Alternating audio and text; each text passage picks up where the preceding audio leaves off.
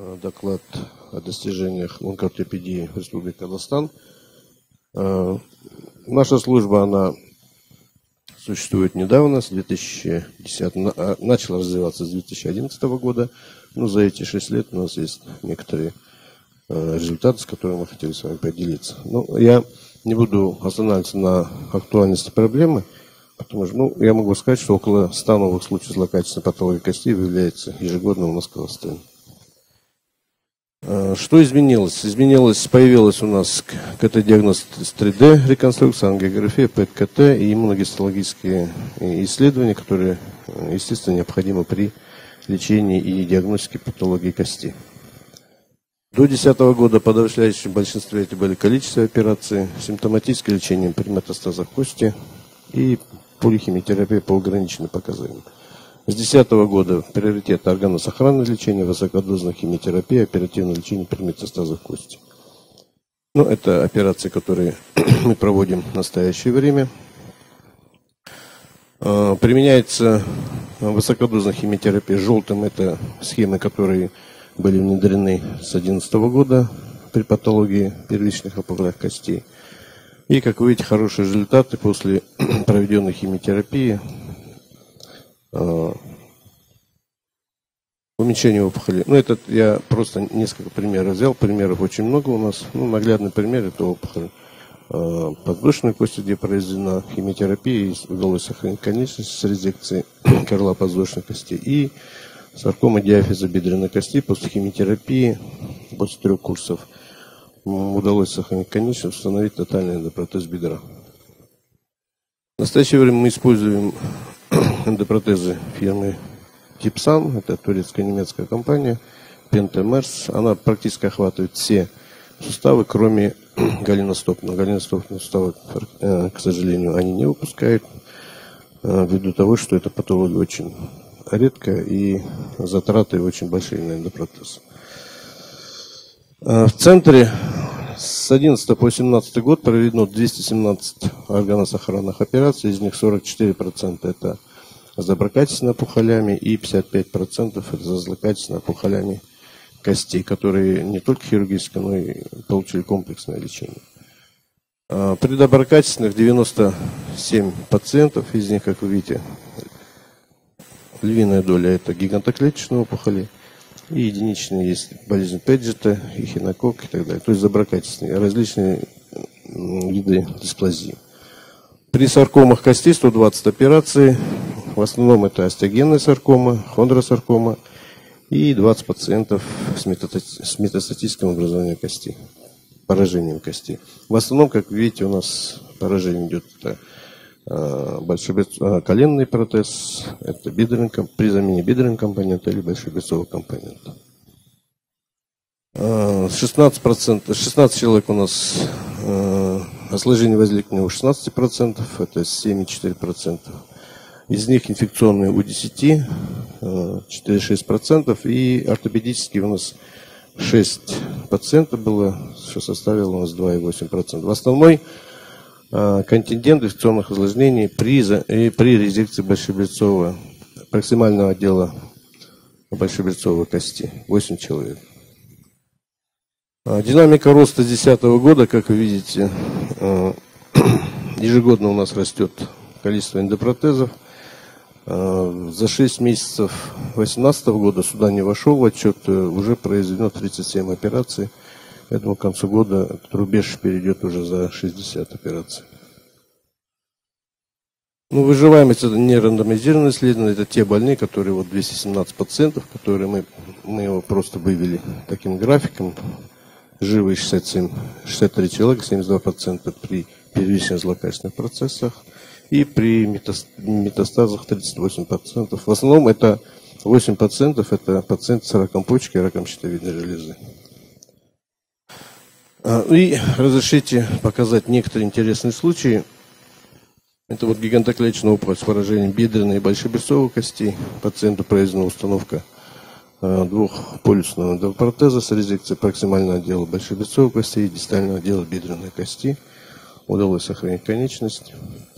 Пациентам с метастазом рака почки, ремиссия 3 года, солитарный метастаз, диафиз большеберцовой кости, произведена эндопротезирована, установка диафизарного эндопротеза. С укрытием, естественно, медиальной ножкой икроножной мышцы и также сеткой. Также операции у нас широко внедряются операции по опухолях кости таза. Это различные виды. И разрешите показать случай, когда мы оперируем после э, травматолога общей лечебной сети, когда больным на фоне онкологии проводятся цементирование различного рода, эксохляции, э, резекции нерадикальные. Это, допустим, после эксохляции опухоли э, проксимальной методиации плечевой кости, рецидив сразу возник через месяц, даже не рецидив, а даже может продолженный рост, больного после химиотерапии произведена резекция плечевого сустава.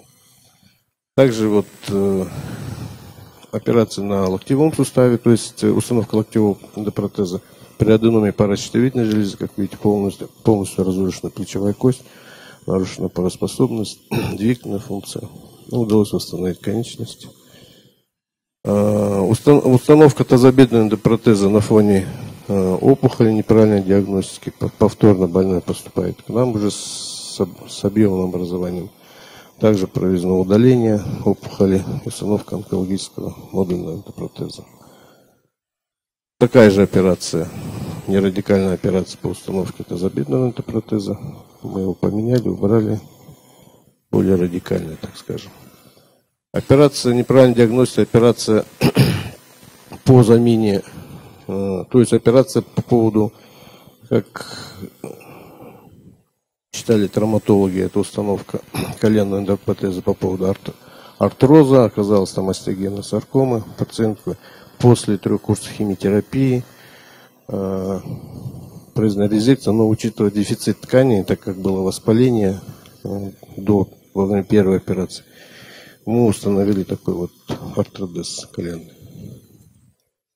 Ну и различные виды э, артродеза. Вот пациент э, с саркомой э, бедренной кости. Пациенту предложено в прошлом году хир, э, лечение, но больной отказался. Э, произ, произошел перелом, травматологом установлен интермедулярный остеосинтез. Пациент уехал в Курган, потом в Москву. И в конце концов вот он, дошел к нам в таком состоянии, когда уже сохранить э, какой из Дистальная или проксимальная часть бедра не представляется возможным, пациентка проведена тотальное удаление бедренной кости с эндопротезированием. Также вот случаи у нас были перелом, как сейчас докладывались, вот слева это вот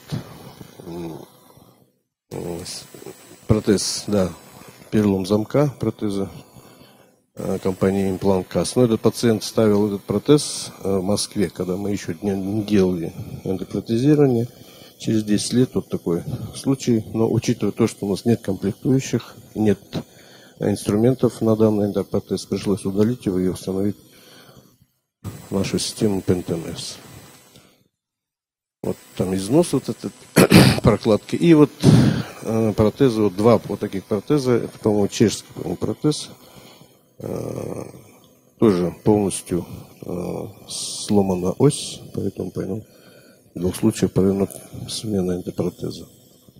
И один случай у нас был, это перелом ножки протеза. Э, причина была авария и прямой удар, ой, боковой удар по последней третьей голени, поэтому произошел перелом головки, перелом ножки. Очень большая проблема, когда удаляем эти ножки, приходится делать дополнительную остеотомию, потому что это бесцементные ножки, их выбить практически ну, очень сложно. Поэтому была дополнительная резекция установка на удлиняющих втулках. Ну и мы проводим раннюю реабилитацию у себя в отделении э, аппаратом Артормод К1. А сейчас э, приобретаем Артромод для разработки локтевого плечевого сустава. В этом году должен быть. Ну, на, на выводах прошу не останавливаться. Такие вот наши результаты. Спасибо.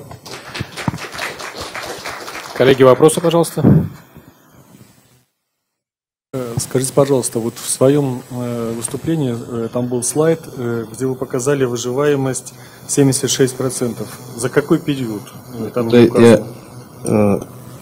Я сразу оговорился, что это все пациенты, которые вот мы оперировали. То есть туда вошли пациенты и, и прошлого года.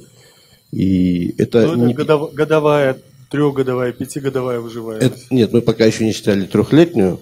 Мы считали пока э, пациенты, которые вот э, с 12 года и до 17 года живы пока. На следующий год я уже буду показывать трехлетнюю выживаемость. Спасибо. Леонид Олегович, а у меня такой вопрос. Значит, один организационного плана. А, Вы показали действительно те случаи, которые а, исходили от а, травматологов, когда выполнялось неадекватное пособие. Скажите, пожалуйста, в этом свете, как вам видится дальнейшая перспектива взаимоотношения, взаимодействия с травматологическим звеном? И есть ли какие-то шаги у вас в вашем регионе? Да, это последние три года этих случаев уже меньше, а, потому что мы очень тесно сотрудничаем не то, онколог- а, не то, а, которая находится в городе. И в октябре будет четвертая международная конференция, международная, когда НИИТО проводит в каждом городе разные области. То есть в каждой области один раз в год. То есть собирают все травматологи города. И это будет уже мое четвертое выступление по поводу онкологического антипротезирования. Поэтому сейчас травматологи уже стараются все отправлять уже к нам. Как раньше уже такого уже. Это уже в этом году вот один случай. Прекрасно, прекрасно. И один практический вопрос. Значит, у вас на сегодняшний день э, наиболее такой вот крупный опыт накоплен использования конструкции турецкие э, пентамерц. А Как ваше впечатление, какие результаты э, дает вот это эндопротезирование и какие осложнения после использования этих конструкций?